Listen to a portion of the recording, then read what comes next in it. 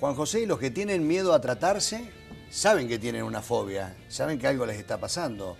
Eh, los que temen ir a una consulta, eh, digo, la fobia al psiquiatra. Eh, la verdad que, bueno, hoy ha habido como una psicologización de, nuestra sociedad, así que hoy la gente consulta con... No tiene temor de ir al diván, digamos. no tiene temor de ir al diván, sí. pero bueno, hay otras personas que no les gusta para nada que se les mencione ir a un terapeuta. Comúnmente si vos le decís, mira, vamos a tener que ir a ver al psiquiatra, salen espantados o lo primero que te dicen es yo no estoy loco. La verdad que no, tiene nada que ver esto de si uno está loco o no, sino que tiene un problema. Eh, comúnmente la mayoría de las personas accede a una consulta psicológica y le es más, más resistente ir al psiquiatra. Pero hoy la salud mental está en un proceso de cambio, ya hace varios años, en los cuales eh, las diferentes terapias y la interrelación y la formación de, equipos disciplinarios eh, nos ayuda a mejorar la relación, tanto de los psiquiatras con, los pacientes como con los psicólogos y demás. Eh, yo tenía acá un par de preguntas. Este, mm, aquel que siempre tiene un pensamiento negativo, viste que hay gente que siempre todo está mal todo está absolutamente mal y está convencido que absolutamente todo está mal, hasta su familia, sus hijos, todo está mal, todo está mal. ¿Eso es una actitud fóbica también, eh, ese comportamiento permanente de negatividad o no? No, esto tiene que ver a veces con que hay personas que tienen una preocupación excesiva por, por todo lo que va a venir y tienden a tener un pensamiento catastrófico, decimos nosotros, del futuro. Como todo lo, todo lo ven negativo, todo les preocupa futuro, tienden a, a ver al futuro negro, porque también de esta manera se protegen ellos. Ah, mira vos. Se protegen ellos porque si yo sé que me va a ir mal, hago el esfuerzo, pero bueno, me fue mal. Y si me fue bien, bueno, fue suerte. De esa manera siempre están protegidos para que no haya una gran frustración ante el futuro que les toca vivir. Mira vos. Este, mm, ¿Qué es el TOC? Y digamos, de alguna manera, cómo uno puede saber que tiene un trastorno obsesivo compulsivo. Eh, el trastorno obsesivo compulsivo es un, problema de salud mental en el cual se caracteriza por tener ideas repetitivas, parásitas, o imágenes repetitivas, parásitas en la persona que no puede controlar, le aparecen. Estas ideas pueden ser referidas a la contaminación, eh, siempre habrá algo que me pueda llegar a contaminar y de esa manera enfermar. Eh, pueden haber ideas con obsesiones respecto a la religión, a ciertos comportamientos que tiene la persona eh, y así todo puede obsesionarnos. las personas con trastorno obsesivo compulsivo tienen a la vez asociadas junto a estas obsesiones dudas, una duda patológica decimos nosotros. Eh, supongamos, tocó un objeto, él tiene la idea de que se contaminó, por lo tanto se lava las manos. Termina de lavarse, pero ¿me habré lavado bien? Se vuelve a lavar las manos. Se vuelve a lavar las manos. Y así entra en una serie de compulsión, la, compulsión del lavado, la repetición, que va a generar entre muchos problemas. Algunas personas con este, con este problema pueden quedar hasta 20, 30 minutos encerrados en un baño lavándose las manos. Ah, sí. Sí. Entonces... Eh, es un cuadro crónico ya, ¿no? No, no, son, son cuadros eh, en agudo, se pueden presentar. Eh, y lo que vas a ver es que pasan mucho tiempo en sus rituales. Estos rituales pueden ser de comprobación, comprobar, por ejemplo, que el gas esté cerrado, que las luces estén apagadas, que al salir de la casa haya cerrado bien todas las puertas. Pero eso lo repiten varias veces. Lo repiten varias veces en forma obsesiva. Te quiero decir, yo salgo de viaje, por ejemplo, pero siempre chequeo que la luz corto, bueno, la luz no la corto, pero el gas lo corto, miro que no quede ninguna canilla perdiendo y ya, salí, cerré la puerta y me fui. A lo sumo lo que me puede haber pasado alguna vez es volver, decir, recordé bien si cerré la puerta o no, por las dudas es eso, y nada más. Pero no lo hago media hora o dos horas recorriendo esto, estas no tengo ideas, ¿no? no, claro, no, no, no, estas ideas son comunes en todas las personas. Uno siempre chequea información, chequea... Pero eh, cuando vos quedas atrapado por mucho tiempo, estamos hablando de 30, 40, una hora, eh, ya estamos hablando de algo obsesivo y patológico. Y patológico. Este, eh, los que viven permanentemente acomodando ropa, sacando, poniendo y dejando todo bien acomodadito y tiene que estar de esta manera. Algunas las camisas así, los pantalones así, los calzoncillos así. ¿Tienen este tipo de patología? Eh, hay, esto también depende del tiempo que les lleve. Ah, es una cuestión de tiempo también. Es una cuestión de tiempo, es una cuestión de eh, rituales, es una cuestión de, la idea obsesiva que la persona presenta. Hay algunas personas que, tienen rasgos, decimos nosotros, obsesivos, te gusta por ahí ser muy ordenado y eh, te gusta tener las cosas bien, bien limpias, suponete. Pero si otra persona te lo desordena, no vas a tener mayores problemas. Ahora, una persona que tiene un trastorno excesivo compulsivo, vos no le podés tocar la ropa porque puede reaccionar mal e irritable. Eh, puede, puede hasta ponerse agresivo. Puede pasar horas, horas ordenando la ropa. puede pasar horas seleccionando cuál va a ser la ropa que se va a poner ese día. Esto a él eh, también lo angustia porque se da cuenta de que eh, está haciendo algo que le es irracional, que es irracional en sí. No puede ser que me quede atrapado una hora decidiendo qué remera me voy a poner. Él se da cuenta de esto, pero no lo puede controlar. Esto es algo que te van a repetir muchas las personas con este problema. Me doy cuenta de que esto me molesta, me genera malestar, pero no lo puedo evitar. Y cuando la obsesión es compulsiva hacia otras personas, ¿cómo es en la relación eh, interhumana, digamos? ¿Existe? Em, no, normalmente... Una cuestión afectiva, amorosa, por ejemplo, ¿no? Dice, mi pareja es obsesiva mm. hacia mí, ¿no? Tiene, tiene determinados comportamientos frente al otro. Sí, las personas con obsesivos compulsivos mm. que presentan este problema por ahí pueden tener una, figura del otro de reaseguro, le llamamos nosotros. Ah. Es decir, obsesivamente está pensando que al otro le puede suceder algo, entonces necesita tenerlo cerca y constantemente está adherido a esta figura de afecto por el miedo a que le suceda algo. Es una, idea obsesiva irracional, porque en algún momento esta persona tiene que separarse de él.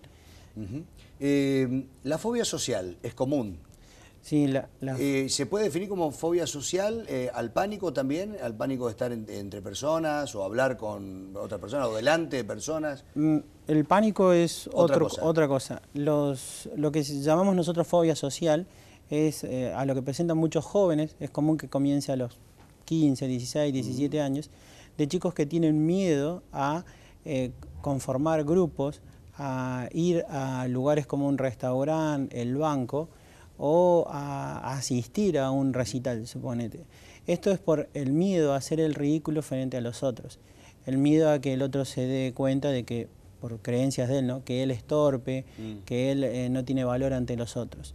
Esto lleva a que eh, el chico que sufre de alguna fobia social eh, comience a evitar activamente el conformar grupos, comience activamente, por ejemplo, a dejar la escuela. Una de las primeras consultas que se dan en los chicos que sufren esta, este tipo de problemas es que abandonan sus actividades sociales. Y en especial terminan abandonando la escuela. Y terminan encerrándose dentro de su núcleo familiar. Viven en su casa, están perfectos eh, en este ámbito donde se sienten seguros, pero no salen a socializar. O si salen, lo hacen con grandes molestias. Eh, se da básicamente en grupos de adolescentes esto de la fobia social, ¿no? Se da mucho en grupos de adolescentes, pero emerge en la adolescencia y se mantiene por eh, largos periodos de tiempo eh, y en el adulto también. Eh, lo, común de la fobia social es este miedo a hablar en público. Mm. No sé si algunos, algunas Nosotros personas... no tenemos ese problema, por suerte, este, ni uno de los que está acá. algunas personas experimentan, por ejemplo, este miedo a hablar en público cuando tienen que ir a rendir. Ah. O mm, algunas personas experimentan este miedo cuando tienen que dar alguna exposición en el trabajo. Ahí este miedo lo supera y algunos eh, llegan a fugarse de la escena o te renuncian. Hay muchos fóbicos sociales que, por ejemplo, no avanzan en sus trabajos, no hacen el salto evolutivo. ¿Cuál es el problema? Ellos quizás eh, son excelentes trabajadores en el medio, donde no tienen que socializar mucho, y eh, logran algunos ascensos porque son muy buenos trabajadores. Pero al ascender tienen que interrelacionar con otras personas, tienen que exponerse ante imágenes de autoridad. Esto les genera mucha angustia, les genera mucha ansiedad, por lo tanto prefieren no movilizarse de ese lugar o renunciar. porque no soportan la exposición. Ni más ni menos. Bueno, eh, viste que te dije antes de empezar la charla de récord que el tiempo de la televisión es tirano, ¿no? Sí. Pero bueno, eh, la gente que quiera comunicarse con Fobia Club Neuquén, ¿cómo puede hacerlo? Juan Eh, nosotros tenemos un- dos números de teléfono con los cuales se pueden comunicar, que son el 0299 4422 982 y el 0299 155 2138 eh, 2138 84. 84, sí. Y si no, entran al Facebook. Y si no entran al Facebook, ahí estamos como Fobia Club Neuquén Neuquén. Eh, y hay una página nacional que es www.fobiaclub.com. Ahí están todas las filiales del país y uno puede entrar en contacto con, con nosotros a través de este medio. Bueno, eh, te prometo que no vamos a, no va a ser ni la primera ni la última vez que vamos a charlar de esto, porque aparte me quedaron temas para charlar eh, que tienen que ver con la depresión de los adolescentes, que es un grupo de- de- social de mucho, de alto riesgo, con un montón de cosas, ¿no?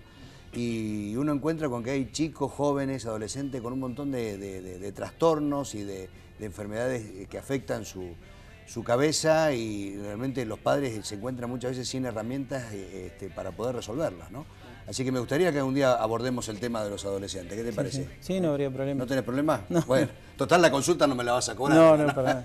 bueno, gracias Juan José. No, gracias Patito, eh, tenemos fotos para compartir del aniversario de la ciudad de Neuquén, ¿no es cierto? Sí, vamos a hablar de las actividades que se van a llevar a cabo sobre el aniversario de Neuquén. Mirá vos. Tenemos la elección de la reina y sus acompañantes que se llevará a cabo el día domingo 21 a las 19 horas entre 31 candidatas. 31 candidatas, hay que recordar, estas son fotos que trajo mi amigo Joel Villegas. Vean la torta de televisión, qué lindo. ¿Quién la habrá hecho? Leo Fraternali, me dijeron. Bueno, eh, ahí está el intendente Quiroga. Esto fue eh, la semana pasada, el jueves exactamente, cuando este, 110 tortas se comieron en total, todas completas. Vi- Villegas no trajo torta para, para el estudio, no trajo nada. Bueno, mucha gente fue a comer torta. Cuando todo es gratis va todo el mundo, ¿no? Esto es así. Es como los choripanes en los actos políticos, más o menos. No faltó nadie. Mira, hasta los minions estaban. Bueno, Patito, ¿qué más? El lunes 15 se hará una campaña de concientización sobre bullying. El martes 16 una muestra infanto-juvenil de cientos de chicos de edad escolar. Bien. Para el sábado 20 se realizará una gran movida por el Día Internacional de la Juventud en el Paseo de la Costa. Fantástico. Me estaban preguntando cuándo inauguraban el busto a don Marcelo Verbel. ¿Tenés la fecha? Así es, es cuando las actividades se cierren. Va a ser el día martes 30, con Bien. el emplazamiento de la escultura, como bien vos decías antes, de don Marcelo Berbel. Fantástico. Así es, Pato. Así es. Me parece muy bien. Le quiero mandar un beso muy grande a mi amiga Josefina, este, que está con un problemita de salud muy grande y le mandamos todas las mejores vibras para que se pueda recuperar. Este, un besote muy grande, Josefina, José. Eh, y por supuesto, eh, creo que tenés también algo para comentar de mi amiga Viviana Copelo, Salón de Estética y Belleza, ¿no? De que vienen a hacer, eh, creo que es el primer eh, encuentro de cosmetología de la Patagonia. ¿Es así? Así es, las primeras jornadas, menopausia, ¿qué pasa en la piel de la mujer? ¿Qué pasa en la piel de la mujer que los hombres no, no sabemos? A ver, contame. No nos entienden. 19 y 20 de septiembre es en el Salón de AMUC en Neuquén con certificación de la Asociación Argentina de Dermatología. Muy bien. Dictada por las doctoras Graciela Ferraro y María del Carmen Arrastia y la cosmetóloga Mercedes Lafrenz. ¿Eso es para todo el mundo o no? ¿O es específicamente para gente que está en el mundo de la cosmiatría y demás? Solamente para cosmiatras, cosmetólogas, auxiliares de dermatología, kinesiólogas y esteticistas. Fantástico. Bueno, recordá, en el Salón de Amuc, ¿eso va a ser cuando? ¿19 y 20? El 19 y 20 de septiembre se pueden in- inscribir. Hay un número de teléfono, se pueden comunicar al 299-154-76-6888 o en el Facebook de Viviana Copelo, Estética y Belleza. Fantástico. Un beso muy grande a Vivi, que le vaya bárbaro en este primer encuentro. Estos encuentros son muy importantes porque además cuesta mucho dinero traer a las mejores especialistas de la Argentina. Así que un beso muy grande y que vaya todo bien, Viviana, ¿eh? Ya lo sabes. Pausa en Basta y Sobra. Ya viene el mano a mano. Dicen que 20 años no es nada, pero hacer un programa de radio 20 años es bastante, ¿eh?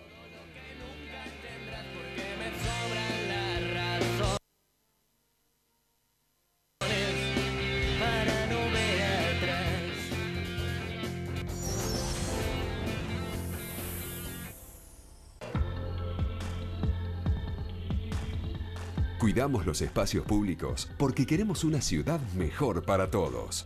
El monumento al general San Martín es un homenaje al padre de la patria y a los valores que él nos legó. Es un emblema de la ciudad de Neuquén. Ahora vamos a disfrutar de un espacio público que nos enorgullece. Y vamos a cuidarlo. Porque este es un compromiso que debemos asumir todos los neuquinos para seguir viviendo en una ciudad mejor. Neuquén, una ciudad mejor. La mires por donde la mires. Municipalidad de Neuquén. Horacio Quiroga, Intendente. Super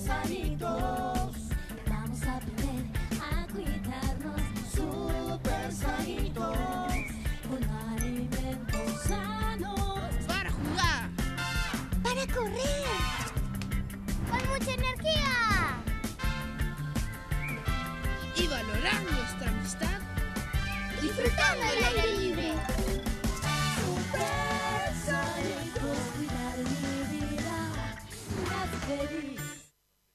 Nuestros recursos naturales son un factor fundamental en el desarrollo de nuestra provincia. Por eso, en la Secretaría de Ambiente estamos convencidos que trabajar en su cuidado es asegurar un mejor futuro para todos. Secretaría de Ambiente. Gobierno de la provincia de Neuquén.